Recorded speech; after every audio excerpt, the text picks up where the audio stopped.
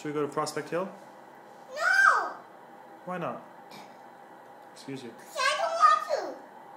I don't go to the. Oh.